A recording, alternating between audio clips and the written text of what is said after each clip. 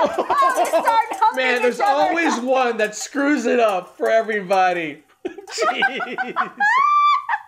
It's music reaction. Ah, yeah. And today we're going back to the lovely country of Sweden. Mm -hmm. And this time we're going to introduce the rest of the world because I think everyone in Sweden knows about this. But for the rest of y'all who are ignorant like we are, Uh-huh. there is something out there called Kulning. And I tell you, it's the most amazing thing I've ever heard about. Wow. What is kulning, Well, John? Kulning, uh, we've heard some of it actually in her rendition when she's saying the, The national, national anthem. anthem. It's that sort of Ah. airy quality the way she sings. And it's something that's been passed down through generations in Sweden. And they use it for cattle calling. Oh. Exactly. They make that sound so the cows, when they hear it, they Oh, start coming back. Yeah. So that's what kulning is. It's not like the U.S. when they just go to the edge of the farm go, Betsy! Betsy! No, kulning is beautiful sounding. So I figured let's check out a couple videos of this. Y'all recommended this, and I am blown away by what I've heard from her so far, including this video. We're gonna play two back to back. This is just her herding cattle, and the second one is that she takes this sort of practice and makes it into a song.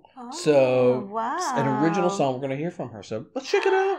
Oh, let's check this out. I Uh. love her rendition of the national anthem. Oh, I love her that voice. was amazing. Her Oh voice goodness. is That was, insanely good. Like touching the soul sort of stuff. I was just like stunned. Right, so- stunned. so I'm looking forward to this. Let's do it. All right, and away we go.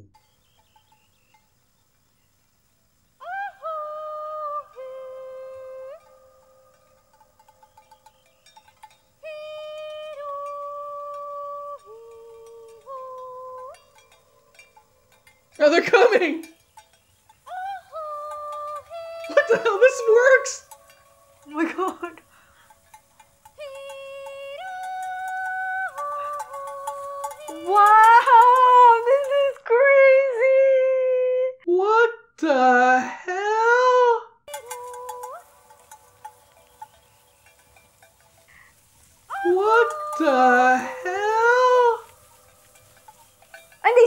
There. How did they know when when to stop? They're like free concert, front row seats.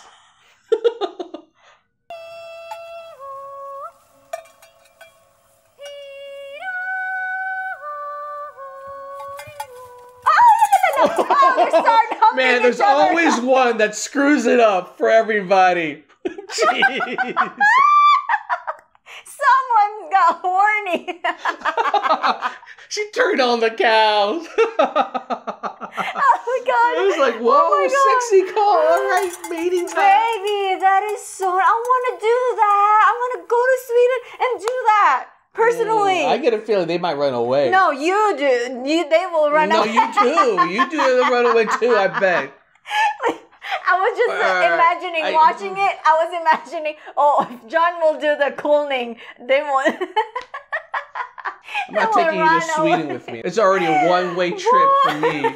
You stay here.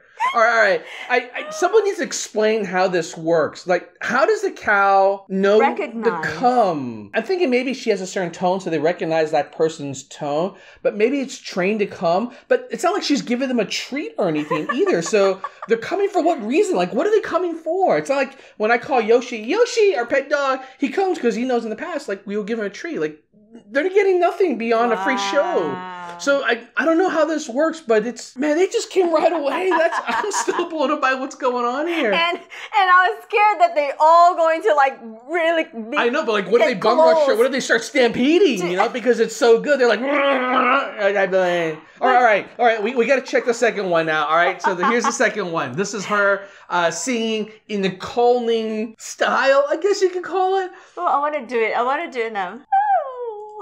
And away we go. Wow, this looks like the opening shot for Game of Game Thrones. of Thrones. Up Yes. north, the blue Q.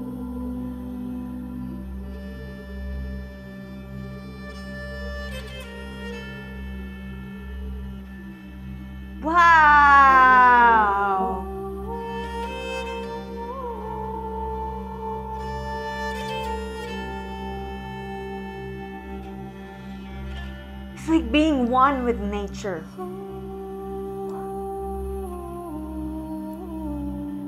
Nature looks very cold. but it's beautiful. It's wow. It, her voice is just on a ethereal level. Angelic. It just doesn't sound like from this planet, this realm. If I were to use a more fantasy-oriented term. Maybe that's why it's ancient.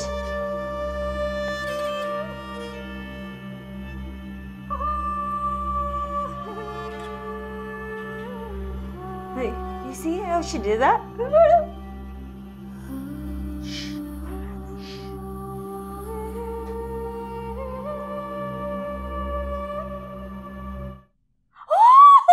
Hell no.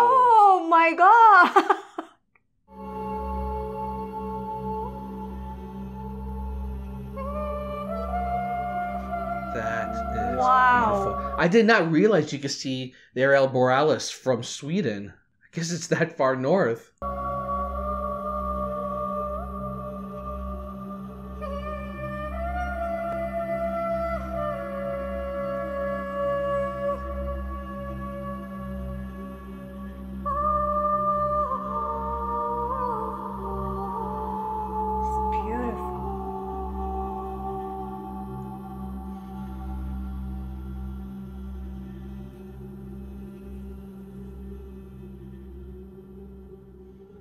Can you hear the wind?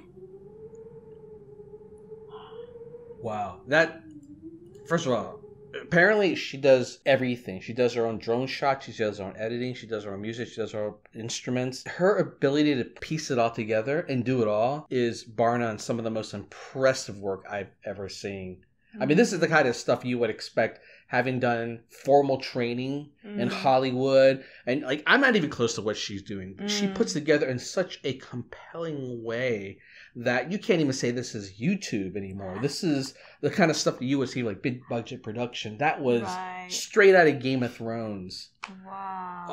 Unbelievable. That was I just am- really beautiful. I am so calm and relaxed watching this. I was like that too until I remember that's just used for calling cows. A Betsy! That's that's what that is. And she somehow turned it into something beautiful. Like, Her voice is so beautiful. I wonder if it's because it's just her talent and her voice. Because I get a feeling if you sing like me, like you're saying, if you sing like me, you calling, it probably would not sound so pretty. It, it's, I'm it's telling you, they're not. They run away. I, I think so. No, they would stampede. You know what they would be like? They would be recreating the scene in Lion Kings when the wildebeest killed Mustafa. They would be stampeding away, killing everything in their ah, path. That's right. Oh. Opposite way. oh God. Oh, That was beautiful, She y'all. She is- is a Swedish treasure. There's no doubt in my mind. she's talented. She is beautiful.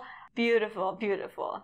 All right. If you have other interesting cultural aspects that you want us to cover, I would love to learn about it because this is really fascinating. This is not Mhm. something I would have ever been exposed to. Right. Not something I've ever even heard of before. Right. And it's really, really cool. And it, trust me, it doesn't have to all be beautiful. It could be wacky. it could be strange. It could be funny. Just share it with That's us stuff because that's what we love. We love learning about different cultures from around the world. So Mhm. thank you all, Swedes.